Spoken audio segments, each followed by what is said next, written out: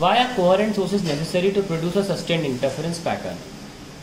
because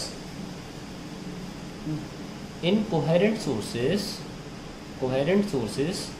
ज़्यादा जानकारी चाहिए तो आप रिवाइज करिए मैंने सारा पढ़ाया हुआ है कोहेरेंट सोर्सेज के बारे में प्रीवियस लेक्चर्स में बिकॉज़ इन कोहेरेंट सोर्सेज पहला point the frequencies are same same of the two sources of two sources और दूसरा they have either zero phase difference between them zero और ज़ीरो और constant phase difference between them एक बार लिख लेते हैं constant phase difference difference between them अगर ये नहीं होगा तो इंटरफेरेंस मिलेगा ही नहीं और ये सब पहले लेक्चर से बताया जा चुका है। Let start with the second part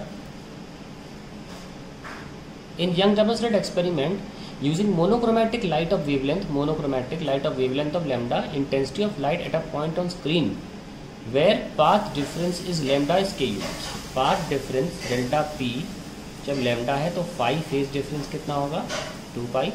ऐसे में इंटेंसिटी कितनी है? I naught cos square two pi by two cancel that is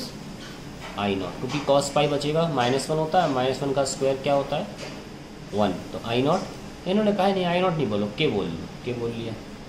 फिर कहते हैं कि इंटेंसिटी क्या होगी अगर part difference lambda by three हो जाए? अगर लेमडा बाई थ्री होगा by unitary method phase difference two pi by three होगा इंटेंसिटी होगी I naught cos square two pi by three by two cos sixty one by two होता है, उसका square करेंगे तो फोर हो जाएगा I naught by four I naught की जगह के लिख लीजिए के बाई फोर अब रेशियो निकाल लीजिए. इंटेंसिटी ऑफ़ लाइट फाइंड करना है रेशियो नहीं निकालना है तो the intensity is K by intensity is K by four